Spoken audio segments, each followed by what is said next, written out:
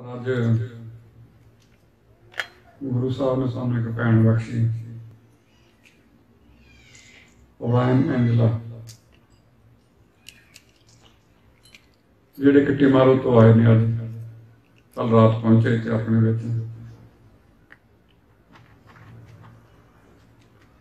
ਜਿਹੜੇ ਯਹੋਵਾ ਵਿਟਨਸ ਵਾਸਤੇ ਲੰਮੇ ਸਮੇਂ ਤੋਂ ਕ੍ਰਿਸਚੀਅਨਟੀ ਦਾ ਪ੍ਰਚਾਰ ਕਰਦੇ ਸੀ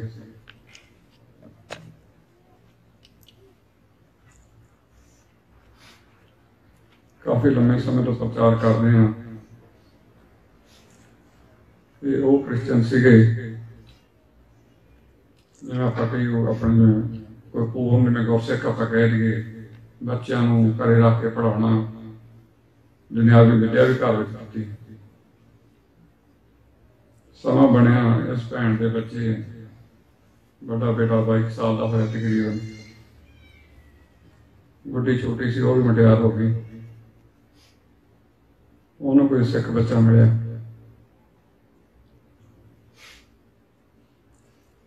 ਇਹ ਭੈਣ ਨੇ ਉਹਨੂੰ ਪ੍ਰੇਰਨ ਵਾਸਤੇ,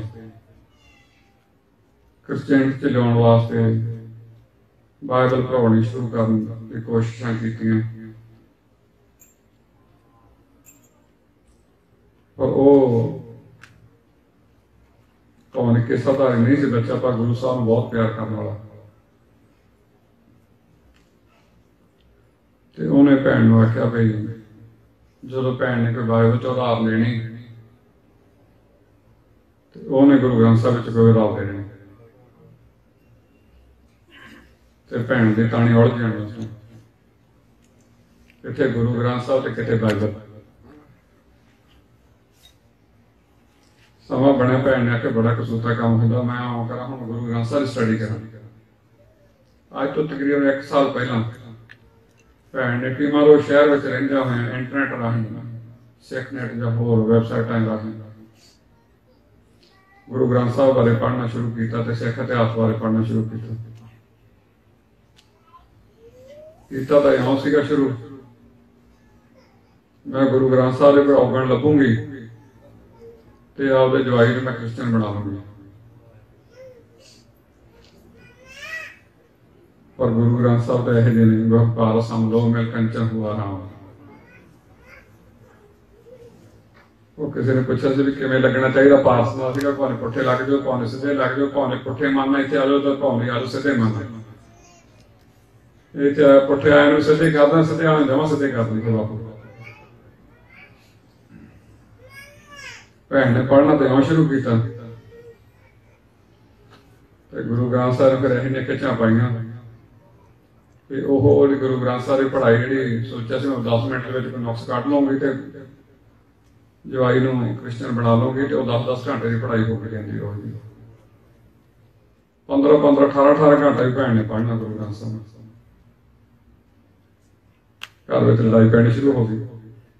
ਵੀ ਕਿਤੇ ਦਾ ਆਪਾਂ ਡੋਰ ਨੌਕਿੰਗ ਕਰਦੇ ਸੀਗੇ, ਰੋਜ਼ ਕ੍ਰਿਸਚੀਅਨਟੀ ਦਾ ਪ੍ਰਚਾਰ ਕਰਨ ਜਾਂਦੇ ਸੀ। ਇਹ ਪਰਿਵਾਰ ਦਾ ਕਾਫੀ ਵੱਡਾ ਕਾਰੋਬਾਰ ਵੀ ਹੈ ਮਾਰੋ ਦੇ ਵਿੱਚ। ਕਾਫੀ ਬੰਦੇ ਕੰਮ ਵੀ ਇਹਨਾਂ ਅੰਡਰ ਕਰਦੇ ਉੱਥੇ। Pemarikan kubur kam angkor ke takdir ਭੇਟੇ पौख रस वरा के तो पिछले कर्म जाग पे ਗੁਰਸਿੱਖ ਕਿਰਕਾ ਚ ਪੈਣ ਲੱਗੀ ਤੇ ਫਿਰ ਤਕਰੀਬਨ ਕਾਫੀ ਮਹੀਨਿਆਂ ਤੋਂ ਭੈਣ ਨੇ ਸੱਤ ਬਾਣੀਆਂ ਦਾ ਪਾਠ ਸ਼ੁਰੂ ਕਰ ਲਿਆ। ਤੇ ਇੱਕ ਦਿਨ ਸਮਾਂ ਬਣਿਆ ਤੇ ਘਰ ਵਾਲਿਆਂ ਦੇਖ ਲਿਆ ਵੀ ਇਹਦਾ ਸਾਰੇ ਜਿਹੜੀ ਗੁਰੂ ਗ੍ਰੰਥ ਸਾਹਿਬ ਖੁਦ ਹੀ ਰੱਖਦੇ ਕੰਮ ਤੇ ਵੀ ਕਾਰੋਬਾਰ ਨੂੰ ਇਹਨੇ ਵਰਕਰ ਆ, ਕੰਮ ਕਰਦੇ, ਉਹਨਾਂ ਨੂੰ ਕਾਫਰ ਕਰਨਾ, ਪਈਆਂ ਦੇਣੀਆਂ, ਹੋਰ ਵੀ ਕੁਝ ਕਰਨਾ, ਕੰਮ। ਕਰਨਾ ਕੰਮ ਦੇ ਵਿੱਚ ਖਿਆਲ ਹੀ ਰੱਖਦੀ। ਘਰ ਦੇ ਪਰਿਵਾਰ ਦੇ ਮੈਂਬਰ ਹੁਣ ਬਹੁਤ ਵਿਰੋਧ ਕਰਨ ਲੱਗ ਗਏ।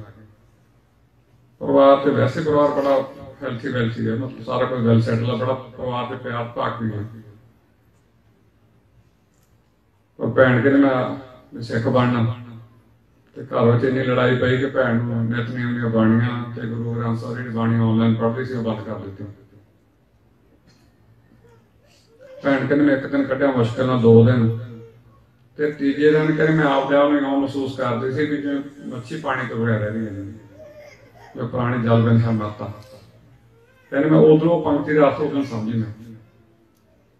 ਕਹਿੰਦੇ ਚੌਥੇ ਦਿਨ ਮੇਰਾ ਸਰੀਰ ਕੰਬਣ ਲੱਗਾ ਬਹੁਤ ਜ਼ਿਆਦਾ ਤੇ ਮੈਨੂੰ ਐਂ ਲੱਗਾ ਮੇਰੇ ਸਰੀਰ ਵਿੱਚ ਕੁਝ ਵੀ ਨਹੀਂ ਹੁੰਦਾ ਸੀ। ਮੈਂ ਘਰ ਦੇ ਮੈਂਬਰਾਂ ਨੂੰ ਆਖਿਆ, ਤੁਸੀਂ ਮੈਨੂੰ ਭਾਵੇਂ ਘਰੋਂ ਕੱਢਣਾ ਕੱਢ ਲਵੋ ਮੈਂ ਤਾਂ ਬਾਣੀ ਪਾਣੀ ਹੀ ਪਾਣੀ ਫਿਰ ਉਧਰ ਭੈਣ ਦੇ ਬਾਣੀ ਪੜ੍ਹਨ ਦੇ ਉੱਤੇ ਘਰ ਦੇ ਨੇ, ਪਰਿਵਾਰ ਦੇ ਮੈਂਬਰਾਂ ਨੂੰ ਨੋਟਿਸ ਦੇ ਦਿੱਤਾ। ਵੀ 2 2 ਜਨਵਰੀ 2018 ਤੱਕ ਤੂੰ ਸਾਡਾ ਘਰ ਖਾਲੀ ਕਰ ਦੇ। ਜਿਹੜੇ ਤੇਰੇ ਕਾਰੋਬਾਰ ਦਾ ਤੇਰਾ ਹਿੱਸਾ ਬਣਦਾ ਪ੍ਰਾਪਰਟੀਆਂ ਤੋਂ ਜਿਹੜੀਆਂ ਤੈਨੂੰ, ਜਿਹੜੀਆਂ ਘਰਾਂ ਵਿੱਚ ਤੇਰਾ ਹਿੱਸਾ ਬਣਦਾ, ਤੈਨੂੰ ਦੇ ਦਾਂਗੇ ਤੈਨੂੰ।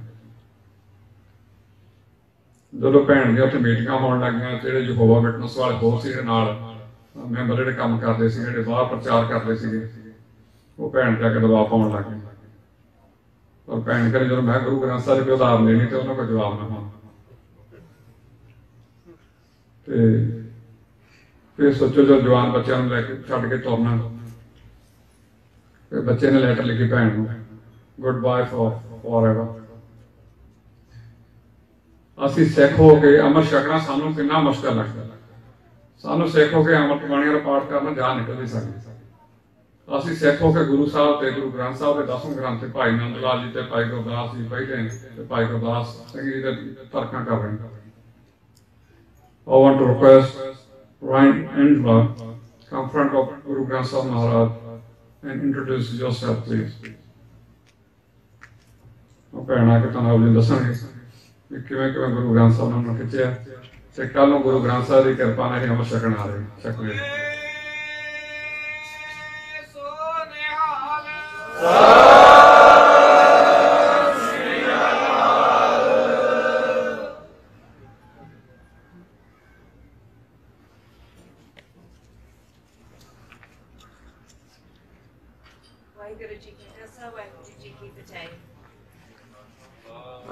my head. Sanguji, I just want to say to you today that my journey started when my is married a Punjabi boy and he thought that he would be able to study the Bible and forget about seeking. But when he started studying the Bible, he realised how much he needed Guruji. He couldn't do it. And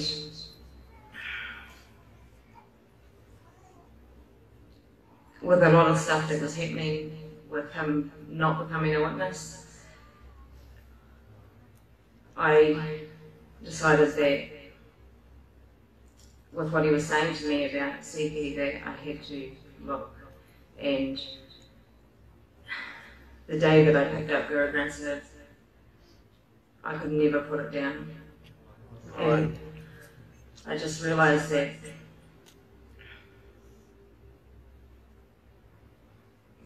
there's nothing like it in this world. And I knew what it meant because as witnesses, if we leave being a witness, then the family disowns you. And I tried for two weeks to, I said to the family I'd stop. And for three days, it was terrible. Uh, three days it lasted, and I said, I can't do it. I've got to, I've got to read Guru Granth. And it just felt like I was a fish that needed the water, and I couldn't understand what was happening because it was just all so new and, and but it was just beautiful. And I just see, like I was in Timaru, and so many of the young Punjabi boys that come over cut their hair, take their turban off, and think they can live without Seki. And they can't. For me, for those three days, I was dying spiritually because of what I'd already learnt. And I had no choice but to carry on and learn more. The family hated it and threatened right through the whole time that if I didn't stop, I had to leave. And everything, like, as soon as I started wearing just a head cover and then to put it, and that wasn't allowed. And then when I wanted to get up for Villa, that wasn't allowed. And it, the list just kept going until I just kept praying and praying and praying to Waheguru and just reading the Bani and learning as much as I could. Trying to learn Punjabi, getting there, and trying to learn Gurmukhi. And I just know that I can't live without it. And the family had said goodbye. And although that was hard to leave, especially by the day I left, my daughter was pulling me back and telling me to leave Siki and stay. But I knew I can't. And I know that life is nothing without Siki and without Guruji. And I know that I just keep praying to my Guru about the family and we'll see what happens. But we all don't know what tomorrow will bring. And today could be our last breath. And that's what I kept thinking when the family was saying that I, I can't continue and stay. And I just knew that I, I couldn't not continue and how precious Seki is, how precious Granth Sahib is. Um, he's, he's our living Guru and we need to listen to him, listen to it and just, ah, it's amazing.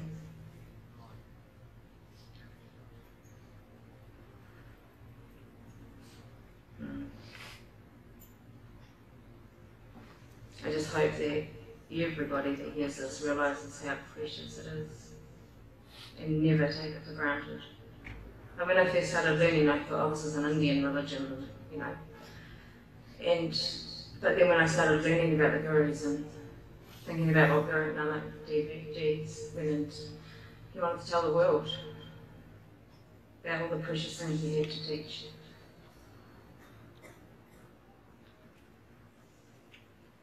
So for us,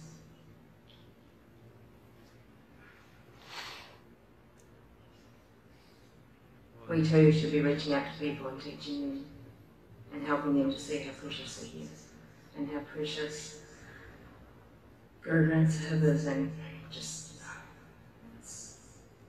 there's nothing like it out there.